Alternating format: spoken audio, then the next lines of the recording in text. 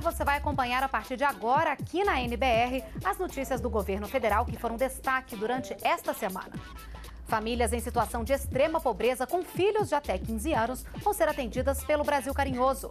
Mais de 170 milhões de reais para o combate à dengue. Número de casos graves da doença cai 64% em relação ao ano passado. Desmatamento na Amazônia registra a menor taxa da história. O Notícias da Semana começa agora.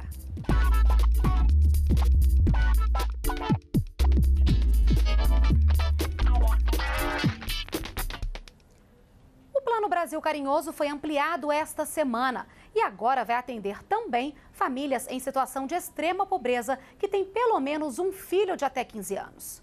Antes, o programa estava voltado a famílias com crianças de até 6 anos. Com a expansão, a meta agora é atender mais 7 milhões de pessoas. As novas regras do Brasil Carinhoso foram anunciadas no Palácio do Planalto pela presidenta Dilma Rousseff. Agora, famílias extremamente pobres, com pelo menos um filho entre 7 e 15 anos, vão ser beneficiadas pelo programa, que garante renda mínima mensal de 70 reais para cada pessoa do grupo familiar. Não estamos apenas transferindo renda pois com o Brasil Carinhoso reforçamos o compromisso do Estado brasileiro e das famílias beneficiárias com a educação das crianças. Por isso, na primeira fase do Brasil Carinhoso e na segunda fase, nós continuaremos adotando a oferta de vagas em creches e pré-escolas. E mantemos a obrigação da frequência escolar mínima de 85%.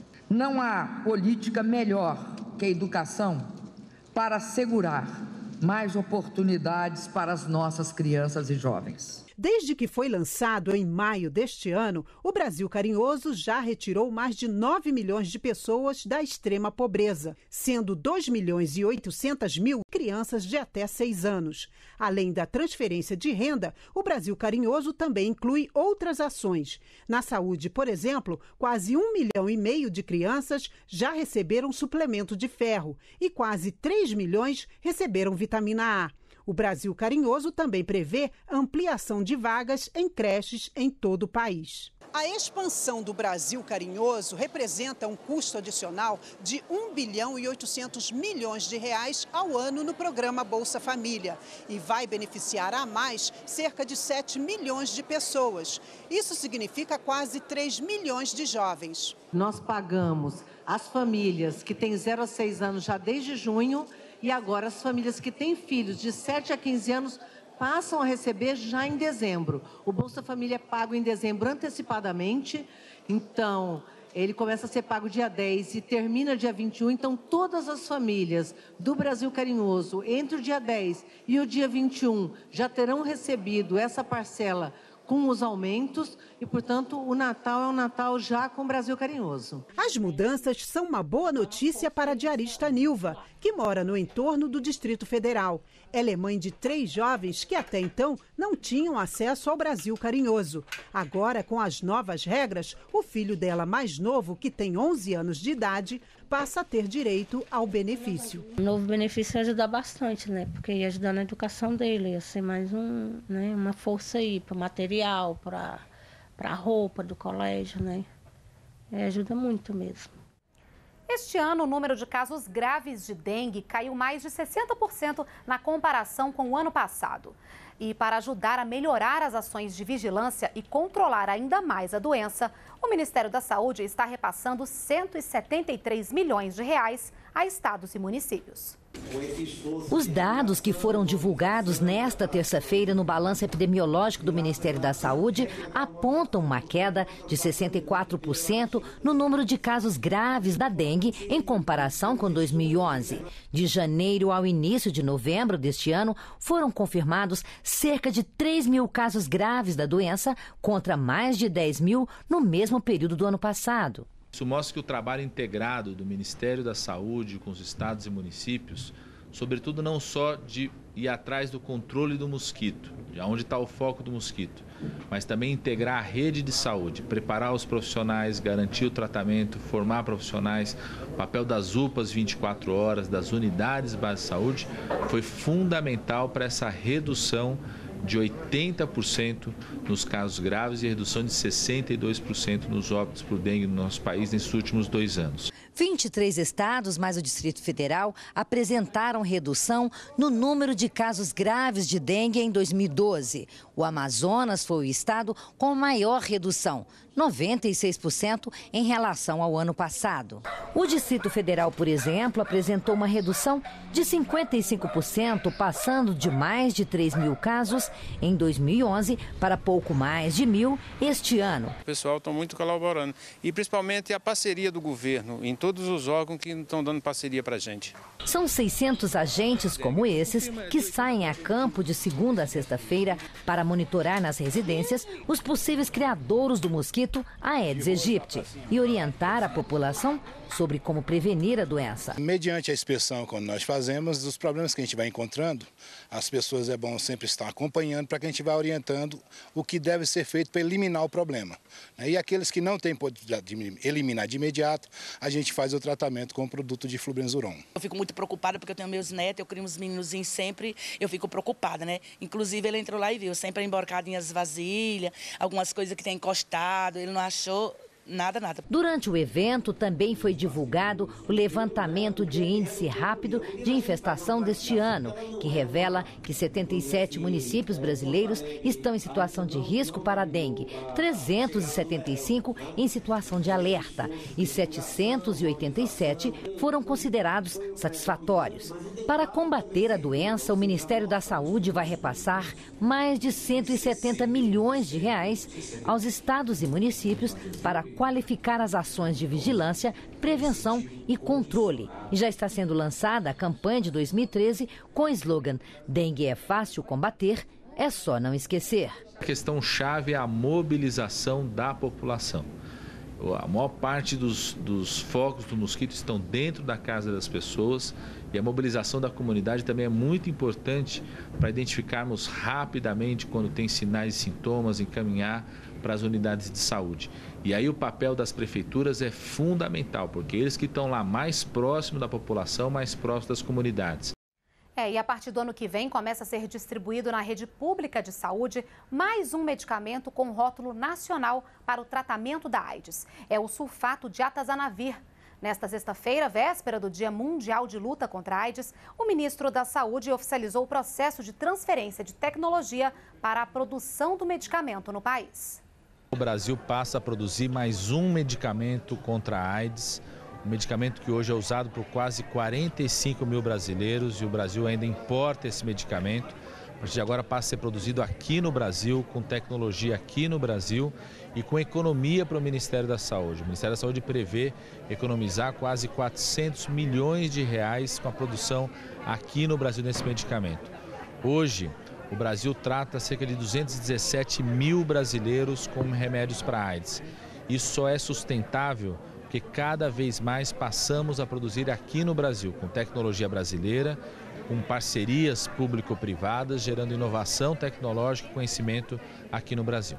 Terminou esta semana na Argentina a oitava Conferência Industrial do país. A presidenta Dilma Rousseff participou da cerimônia de encerramento do encontro, que teve como tema a cooperação entre Brasil e Argentina. Dilma Rousseff destacou a importância de os dois países unirem esforços, sobretudo em época de crise.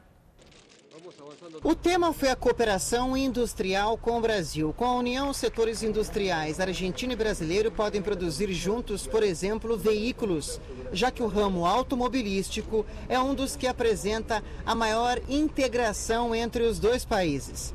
Na visão de empresários que participaram do encontro, a cooperação é uma alternativa para aumentar a competitividade e a eficiência nesta época de crise econômica internacional. O Brasil é o maior parceiro comercial da Argentina. Já a Argentina está entre os três maiores parceiros comerciais do Brasil no mundo, só ficando atrás da China e dos Estados Unidos. No ano passado, as trocas comerciais entre Brasil e Argentina chegaram a quase 40 bilhões de dólares um aumento de cerca de 20% em relação a 2010. A participação da presidenta Dilma Rousseff na 18ª Conferência Industrial Argentina representou um apoio do Brasil ao país vizinho, que foi transmitido pessoalmente pela presidenta Dilma Rousseff à presidenta Cristina Kirchner. A presidenta Dilma Rousseff defendeu uma maior integração e solidariedade entre Brasil e Argentina para enfrentar a crise econômica internacional. Juntos, nós somos muito mais fortes. Juntos, nós temos condição de enfrentar de uma forma mais efetiva os desafios que o mundo coloca diante de nós e as obrigações que os nossos povos nos impõem, porque devemos a ele, a eles, mais desenvolvimento, mais justiça social e a manutenção desse quadro democrático e de paz que honra a nossa região. A presidenta Dilma Rousseff pediu mais investimentos da Argentina no Brasil em infraestrutura, energia e nas obras ligadas à Copa do Mundo de 2014 e às Olimpíadas de 2016 no Rio de Janeiro. Afirmou ainda que o comércio bilateral deve ser mais equilibrado e que as indústrias do Brasil e da Argentina precisam de uma maior cooperação. Queremos um acordo cada vez maior entre os nossos segmentos industriais, porque é importante, estratégico e resultará em benefícios para as nossas nações essa integração industrial. Para as nossas nações e para os nossos povos, para seus empregos, para a qualidade da agregação de valor na nossa produção. E a presidenta Dilma Rousseff vetou parte do projeto de lei aprovado no Congresso Nacional que trata da distribuição dos royalties do petróleo para contratos futuros. Também foi editada uma medida provisória que destina, a partir do ano que vem, 100% dos recursos arrecadados com os royalties à educação. Todos os royalties, a partir da data e das futuras concessões, seja em terra, seja no mar, todos os royalties irão para a educação. Por que para a educação? Porque só a educação vai fazer o Brasil ser uma nação efetivamente desenvolvida. Ela é o alicerce do desenvolvimento. E se o pré-sal e o petróleo são um passaporte para o futuro, não há futuro melhor do que o futuro de investir na educação dos nossos filhos, dos nossos netos, do conjunto do povo brasileiro. E o Brasil é hoje um dos maiores produtores de petróleo do mundo. O produto é extraído pelas concessionárias, que são obrigadas a pagar um valor ao poder público referente a essa produção.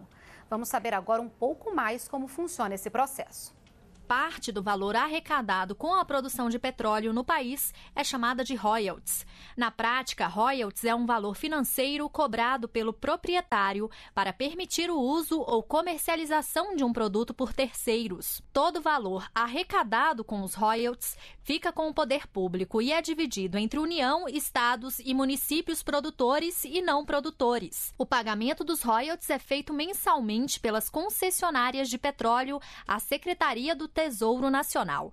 Segundo a Agência Nacional do Petróleo, até novembro deste ano foram pagos mais de 14 bilhões de reais em royalties. O Rio de Janeiro é o estado com maior produção de petróleo. Em seguida vem Espírito Santo, Amazonas, Bahia, Rio Grande do Norte e São Paulo.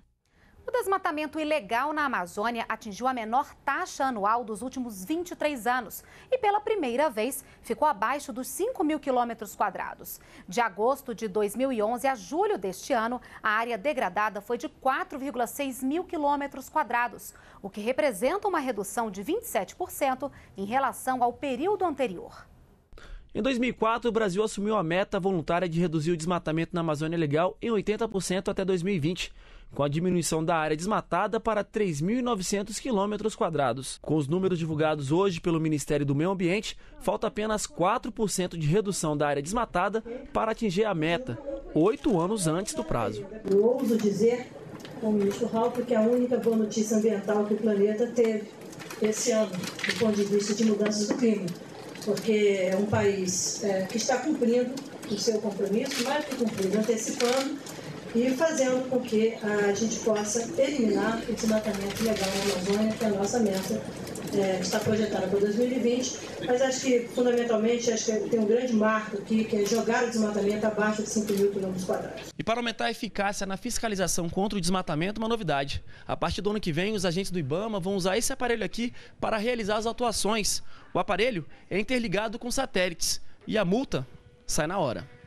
Em breve, as licenças ambientais vão ser emitidas com um código de barras. O aparelho vai fazer a leitura do código e, caso a licença seja irregular, emite a multa na hora. O sistema eletrônico custou cerca de 15 milhões de reais e também vai ser usado no controle ambiental, combate a incêndios e no cadastro ambiental rural. Para o Ministério do Meio Ambiente, o novo aparelho vai ajudar a evitar que processos abertos contra empresas que desmatam sejam arquivados por erros que anulavam o processo. Basicamente, hoje, quando a gente vai em campo, ele carrega uma série de informações em papel, livros, equipamentos de GPS, calculadora, coletando legislação, para que ele possa fazer o trabalho em campo é, manualmente, lavar autos de infração manualmente. É, e tem, muitas vezes, é, maiores dificuldades em tomar decisões, identificar informações em campo. Né? Com a implementação do projeto, né, você, além de você reduzir esse volume de materiais e equipamentos que ele vai ter que levar em campo, mas sobretudo se ganha na qualidade do trabalho. Uma pesquisa do IBGE mostra que em 10 anos a expectativa de vida do brasileiro cresceu em média 3 anos.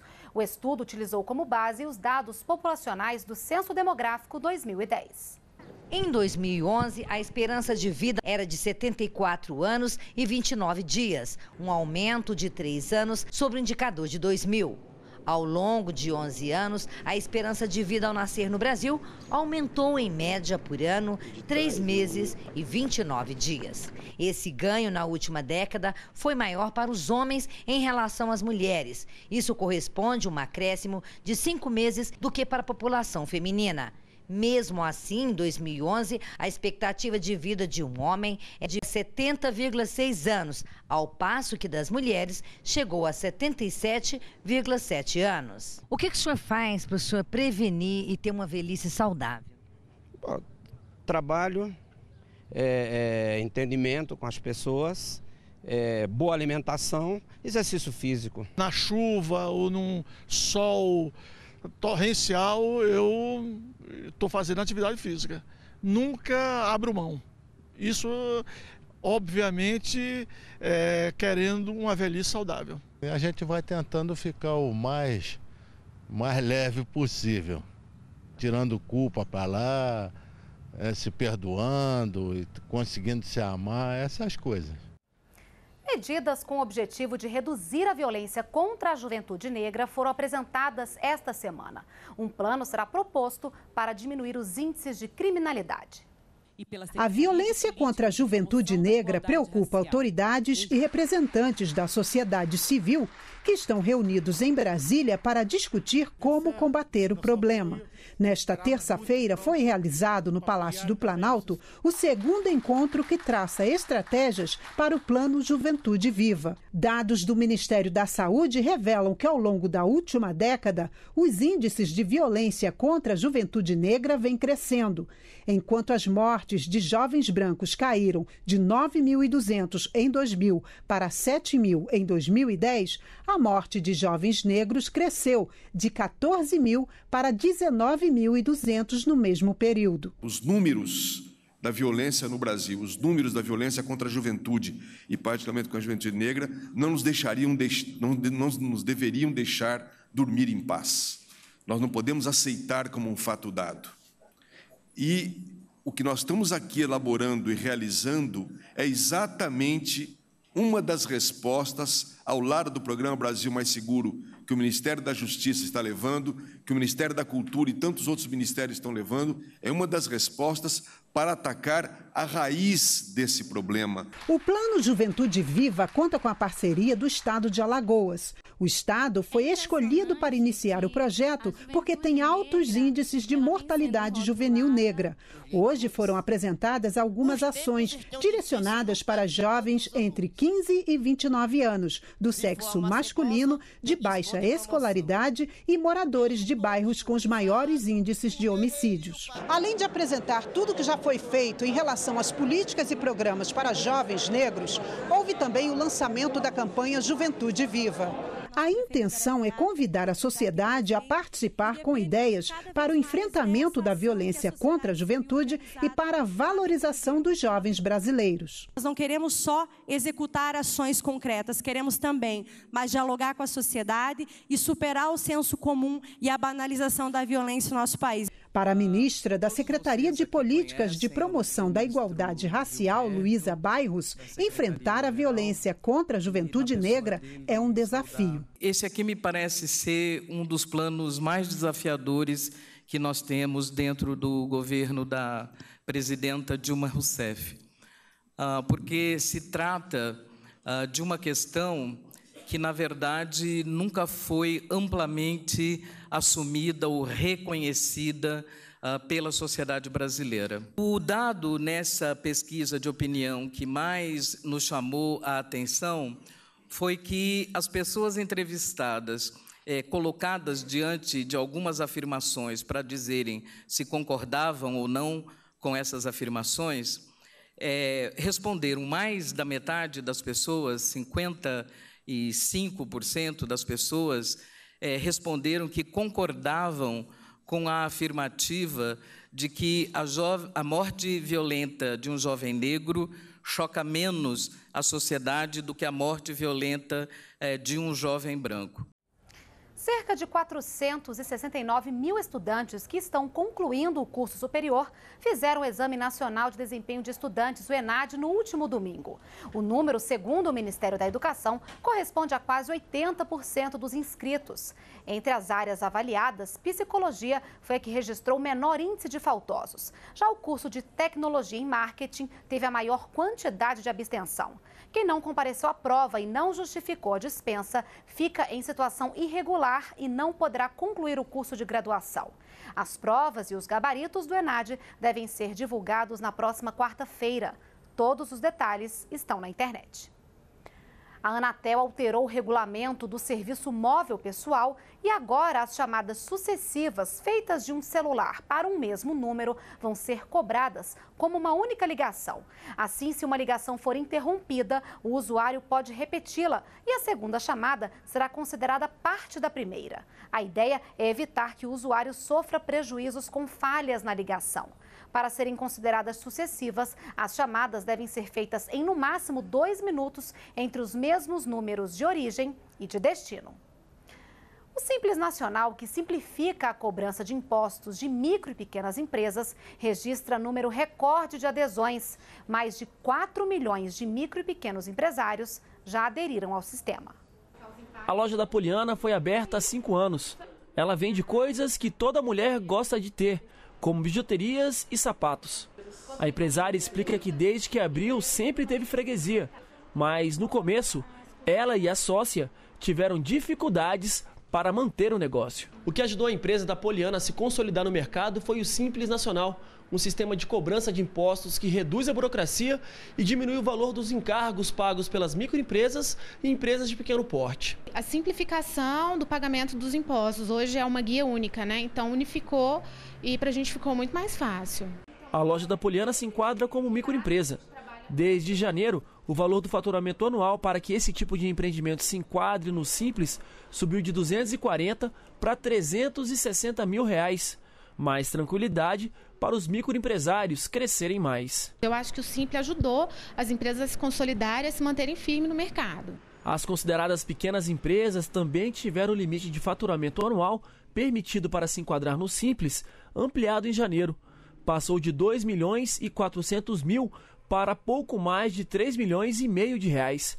Segundo o balanço do Plano Brasil Maior, o número de empresas optantes pelo Simples Nacional cresceu 6% desde que o limite foi ampliado.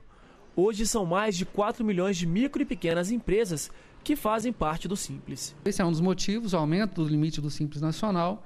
E o outro foi, desde 2009, a, o microempreendedor individual, que é o novo instituto, que já é o maior programa de redução de informalidade em todo o mundo, reconhecidamente. Nós temos hoje cerca de 2 milhões e 600 mil microempreendedores individuais. E esse ano também o limite desse microempreendedor foi alterado de 36 mil reais por ano, que era até o ano passado, para 60 mil reais por ano a partir de 2012. O Notícias da Semana fica por aqui. Na semana que vem, voltamos com outros assuntos de destaque do governo federal. Continue com a gente aqui na NBR.